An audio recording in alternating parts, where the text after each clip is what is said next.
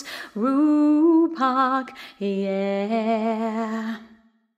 One happy birthday dot com.